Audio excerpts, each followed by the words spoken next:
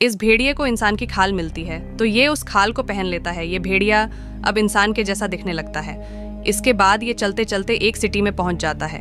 ये भेड़िया यहाँ नौकरी ढूँढने के लिए एक कंपनी में इंटरव्यू देता है और इसको नौकरी पर भी रख लिया जाता है। कंपनी का बॉस इसके काम से खुश होकर इसकी सैलरी डबल कर देता है। इसके कुछ दिन बाद ये एक बड़ा घर खरीद लेता है और एक सुंदर लड़की से इसकी शादी भी हो जाती है। ये अपनी पत्नी के पालतू कुत्ते को खाना चाहता है।